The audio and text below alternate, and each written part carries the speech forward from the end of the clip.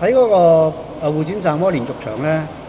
就有兩塊連續牆，誒係即係有問題㗎啦。誒喺個連續牆上面咧，誒原本個設計咧係完全正確嘅，但係當嗰個承建商咧同埋嗰個分包商咧做呢個連續牆嘅時間咧，佢哋就誤解咗嗰個設計嘅圖則上邊嘅資料。咁佢哋要做一啲個我哋叫做嗰個誒鋼筋嘅嗰個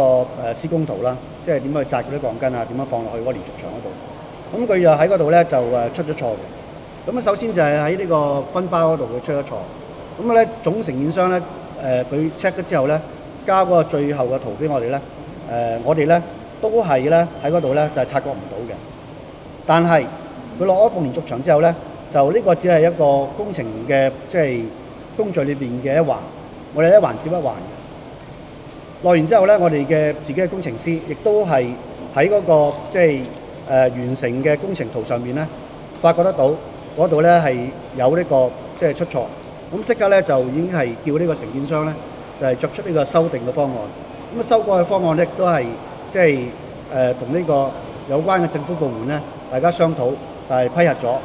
咁咧就做翻好嗰個修改嘅嗰個施工嘅方案。